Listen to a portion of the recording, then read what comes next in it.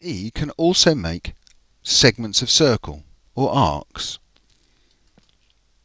To define a three-point arc, which is the default, always enter the points in the order start point, end point and some point on the circumference. If geometry already exists, then PowerShape will snap exactly to it using the intelligent cursor.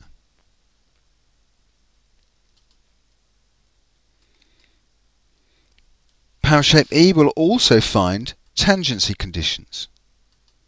In this case we're making an arc that is tangent to another arc and a line. An arc that is tangent to two lines. In this case we will change the radius to 12. Or an arc that is tangent to three lines.